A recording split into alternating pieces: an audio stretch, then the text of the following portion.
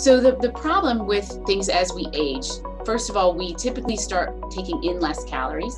You know, I've mentioned before our thirst mechanisms decline, our taste mechanisms decline. We don't taste things as well as we used to. We also begin to lose a lot of muscle mass, so our metabolisms become slower. Our appetite is, a, is typically a little less. And so what's happening is we're losing that lean tissue and instead we're getting you know kind of adipose tissue getting into the muscle fibers and that's lessening its contractibility you know you want to be mindful of protein intake.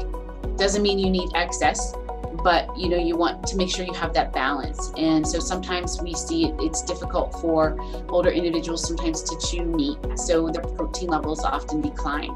It is more difficult to sometimes get in the nutrients and so that's where the potential for a multivitamin or other types of, of functional foods or specific antioxidants or something could play a role